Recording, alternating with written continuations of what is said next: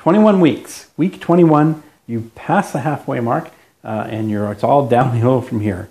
Um, at 21 weeks, the baby is about 7 inches long and about 11 ounces, uh, and of course continues to grow, continues to move, and continues to move more and more.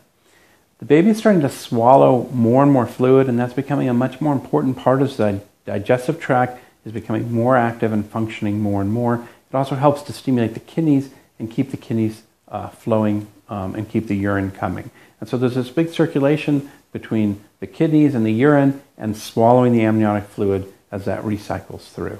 At 21 weeks, the baby's starting to have more and more coordinated movements, and they're not just necessarily these sort of random movements, but the movements seem to be more coordinated uh, as the brain continues to develop and is able to coordinate these movements more and more.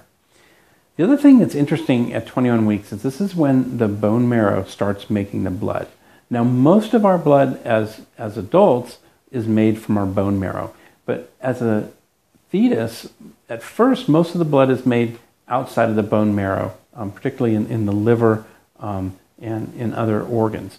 But at this point, the bone marrow is starting to take up that job of making the baby's um, uh, red blood cells. And that's the way it's going to function uh, basically throughout the, the life of the baby. So 21 weeks, 7 inches, 11 ounces, more coordinated movement, and the blood cells are being made from the bone marrow. The bone marrow is starting to work and do its job.